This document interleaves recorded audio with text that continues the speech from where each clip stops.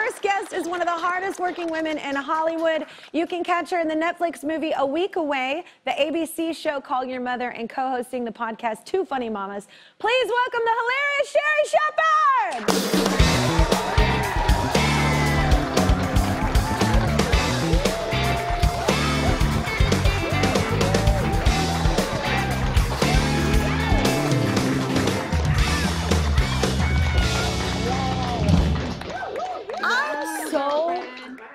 Happy slash angry for you right now. What is hap? You look amazing. Girl, thank you. I'm so nervous because this is the first time I've ever worn this outfit. It's been my you goal should feel outfit. amazing about it. Thank you. That barn door open and I'm still standing. We're still standing. We Girl. haven't sat down yet. This is what happens when you let go of an ex-husband. I'm Oh gonna my let you know that. When does that happen? It happens. That does not happen. yes, it yes it will. I I'm, I'm like- here to promise you that. I was like, I'm looking for that Adele plan. Like, and I don't, and it's, I'm like, when does that happen? Um, no, what inspired you? You already looked beautiful. So what Thank inspired you. you. to just trim down? My um, you know what? I have to say, when Jeffrey, you know, my son Jeffrey, Yep. He uh, he's got a special needs, and he was sitting in the car, and I was eating like a candy bar, Yeah. and he said, "Mommy, if you die, who's gonna be my bodyguard?" That's what he said. Oh, and I said, "What?" And he said. If you are not here, who's gonna take care of me? And it literally hit me like, Whoa. Sherri, you gotta change your life. So this is that's my baby, and this is my third year with no sugar. Wow. And I, I stopped eating pork and beef and dairy because I said I want to be healthy. Yeah. For Jeffrey. Now the perk is I get to put on this little Vici bodysuit and go. and you put it on. It looked so good. That door opened. I was like, I'm so angry. Thank I am like, what in the world with the dress? Yes. This is my Ah. birthday photo shoot because I turned 54. What? And I, yes, the 54, y'all. What? But I just, you know, it's like I wanted to show people. I don't like Cher anymore. Look at you. I just wanted to show people that, you know, you, you're not counted out. Because sometimes people, Hollywood is not Yeah. kind to you as you get older. And Yeah. I wanted to show people you still got it. Or society in care of you- general. Or society. Yeah. So this is like my health journey. This was the perk to my health journey. And I wanted to pay homage to like, you know, glam Hollywood, Dorothy Dandridge Yeah. and Lena Horne Oh, and I Diahann. Carroll. So that's the my photo shoot that I did. Jesus, take the wheel. You look amazing. Um, so this is your fourth time here. So since you look so fabulous, um, our, every time someone has been here four times, we give them a little present. You're gonna look real good in this. We Oh, wow. maybe get you the Oh smallest size in all of oh my gosh, I got my team Yes! I got my team Daddy jacket. I have a convertible, so I can put this on in my convertible car. My God. And drive. I'm a little cute girl, and I'm manifesting a date in my Team in my Kelly Team jacket. Kelly jacket. Yes, baby. yes. All right, so your, your friend and two funny mamas co-host Kym Whitley, she's also been here four times, and I hear that uh, are you each other's like emergency contact, like in case of an earthquake? Girl, the last earthquake, the last two earthquakes that happened, I called Kym up and I was so scared because I'm traumatized from earthquakes. Because the uh-huh. big one that we had back in 1995, somewhere around there, Yeah. I was on a booty call. And that was the worst because I thought that Jesus Christ was coming. It was like boom, boom. And I realized, oh my gosh, Jesus is coming. He gonna knock at my door. I'm on a booty call with somebody I don't even like, first of all. So I made him get on the floor. We were butt naked and we were praying for forgiveness through the whole earthquake. I was so traumatized. Oh my so that's all I remember is being on a booty call. Earthquakes mean booty call, bad booty call. So I'm just oh. like, so whenever we have an earthquake, I call up Kym and I'm like, you just gotta walk me through this, girl. Whoo!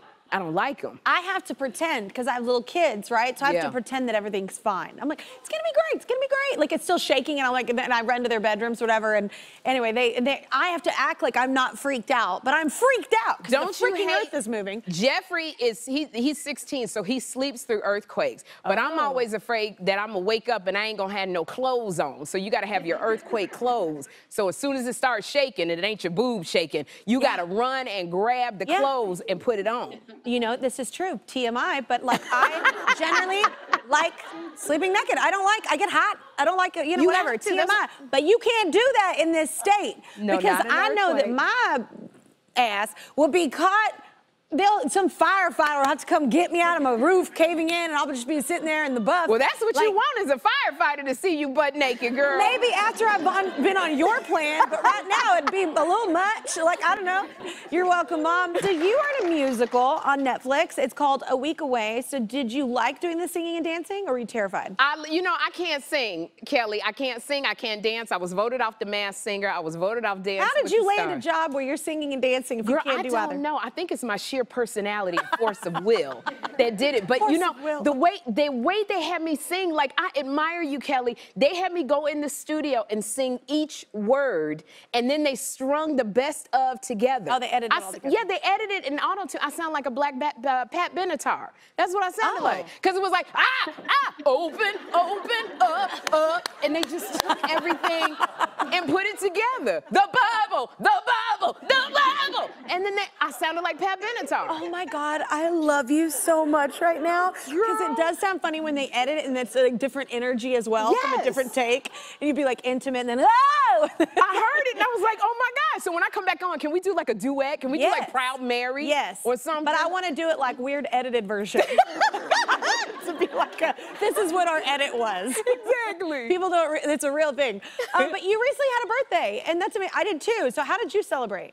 I celebrate my birthday. Kym Whitley, she is one of us. She has a tennis court in her backyard. So we do Whitley on Wheels. It's a skating. We, she calls it Whitley on Wheels, and it's our own private skating ring. And so she threw me. We do that at my Yes. house. We have a tennis court, and we get uh, And you got just roller skates and bikes and yeah. Absolutely, and that's Yeah. what we do. We skate. This is her tennis court, and we just skate Look on her tennis court. And I love it because Kym doesn't skate. She just rides her bike around the court Oh, and I like tells the everybody. bike. Yeah, she screams and she goes, "Hey, it's it's duet. It's man and woman skating." And so it's a skating party Yeah. that she threw me for my birthday because I love roller skating. That's awesome. My whole thing I always say is it's a couple skate. Like it's like Yes. because that was the time I generally get off this the floor.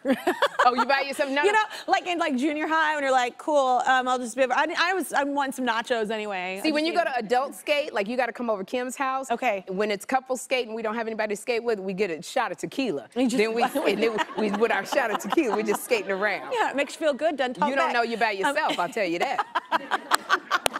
you're with everyone. um, so how did you uh, learn to roller skate? Why did you do that? I started, you know what, because uh, roller skating is such a culture in the African American community. I saw 70 year olds skating and 90 year olds Wow. skating at the rink. And so Danielle Hawkins, who she came and she was teaching me how to roller skate. So we go to a park and we skate on the basketball court. That's Danielle. And it's so funny because all the teenagers would sit there in the swings and laugh at me.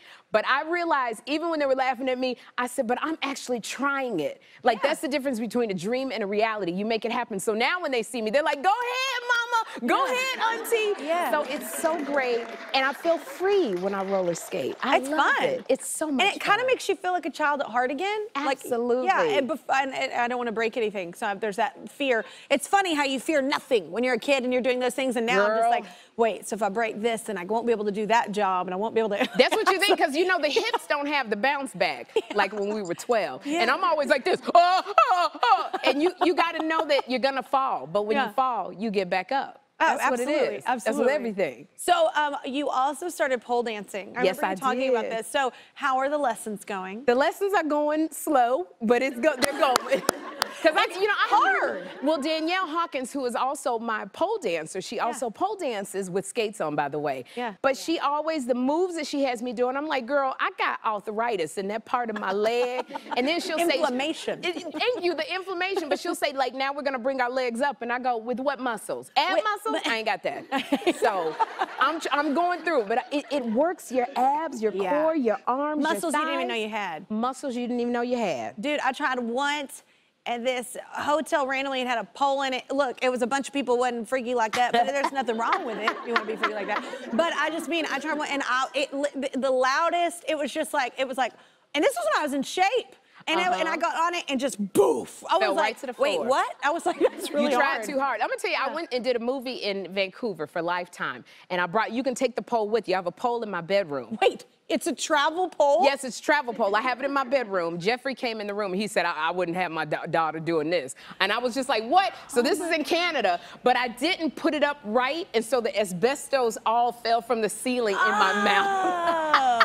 Oh. But it was so funny to see the Canadian police because they were like, "What is this?" And I said, "It's my pole." And they said, "What do you? What is it for?" And I said, "It's when I dance." And they go, "Why are you here?" I said, "I'm doing a movie." So I think they thought I was doing a porno. It was all oh right. my God. oh my God. I love ex- that explanation to people showing up at your I door. just, it's my dance pole. It's amazing. Yep, I'm still here, just waiting for you to subscribe. If you don't, I'll be trapped in this box forever.